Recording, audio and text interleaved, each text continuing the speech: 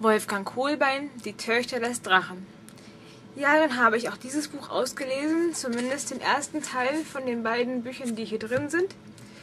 Der Thron der Libelle ist die Fortsetzung von Die Töchter des Drachen, aber das lese ich gerade erst. Gut, worum geht es in Die Töchter des Drachen? Es fängt damit an, also im Prolog, dass ein kleines Mädchen miterleben muss, wie ihr ganzes Dorf niederbrennt.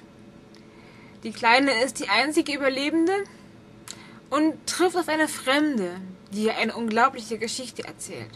Und um diese Geschichte geht es in diesem Buch. Sie handelt von Taliana, kurz Tali genannt, der das gleiche Schicksal widerfahren ist. Auch ihr Dorf wurde niedergebrannt, ihre ganze Familie ausgelöscht. Und seitdem sind sie auf Rache. Sie möchte die Töchter des Drachen finden und diese vernichten. Ja. Und der Weg ist lang, gefährlich. Aber Tali ist stur, kämpferisch, sie kann gut mit Schwert und Dolch umgehen und sie weiß, was sie will. Auf dem Weg dorthin ähm, hat sie viele Verbündete, okay, mehr oder weniger. Manche zwingt sie auch dazu, ihr zu helfen. Denn sie will unbedingt ihr Ziel erreichen. Koste es, was es wolle. Wirklich diesen, der Kampfgeist in ihr ist geweckt. Seit inzwischen 15 Jahren sind sie auf Rache und will ähm, diese Töchter des Drachen finden. Da, wo sie herkommen? Nein. Da, wo sie leben. Ja. Und ihr größter Verbündeter ist sicherlich Horn ein Vager. Man kann ihn sich vorstellen als eine überdimensional große Schildkröte. Gut. Und dieser Horn redet sehr seltsam, was man im Buch auch merkt. Ich habe mal an der Stelle herausgesucht einen Satz, um zu verdeutlichen, wie dieser Horn spricht. Überlasst sie mir. Ihr werdet erfahren, was ihr wissen wollt es ist immer so ein bisschen langgezogen und das S halt auch sehr lang. Aber manchmal muss man sich überlegen, was will er jetzt, aber das klappt schon. Ja. Und wie gesagt, im zweiten Teil geht es dann noch weiter. Ich möchte jetzt halt nicht zu viel verraten. Ich bin ja auch noch gerade beim Lesen, beim zweiten Teil.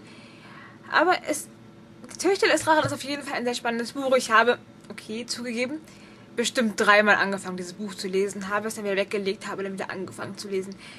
Ähm, habe manchmal wieder von vorne begonnen, weil ich noch nicht so weit war oder nicht mehr wusste, worum es ging. Auch als ich jetzt weitergelesen hatte, wusste ich nicht mehr wirklich den Anfang, musste noch mal kurz nachlesen. Ah, okay, alles klar. Oder man erfährt im Buch noch einmal, was gewesen ist.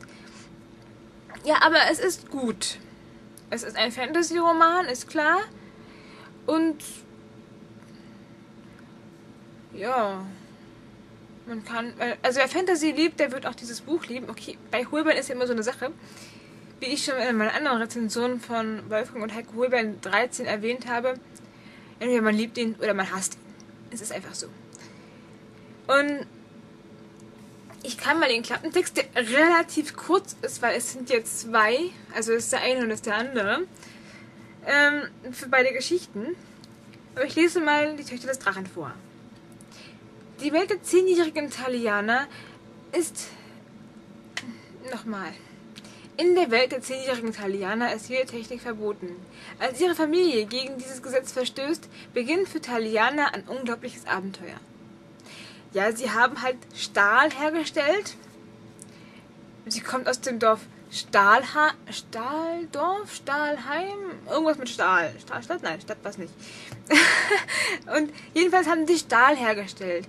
Und das ist in diesem Land, auf dieser Welt, verboten. Allgemein, alles, was mit Technik zu tun hat, ist verboten. Deswegen haben auch die Töchter des Drachen dieses Dorf komplett vernichtet. Bis auf Taliana halt, die es überlebt hat. Ja, zum Schluss erfährt man in dieser dieses ersten Teils erfährt man auch, warum das so ist. Aber um das zu verraten, wäre es jetzt zu viel. Deswegen lasse ich es, aber es ist ein sehr überraschendes Ende. Also man erfährt wirklich, warum, was der Hintergrund des Ganzen ist. Warum darf man keine Technik haben? Warum sind Maschinen verpönt? Wer das wissen will, sollte dieses Buch lesen. Gut. Ja, das war es dann auch schon. Und vielen Dank fürs Zuschauen. Bye, bye.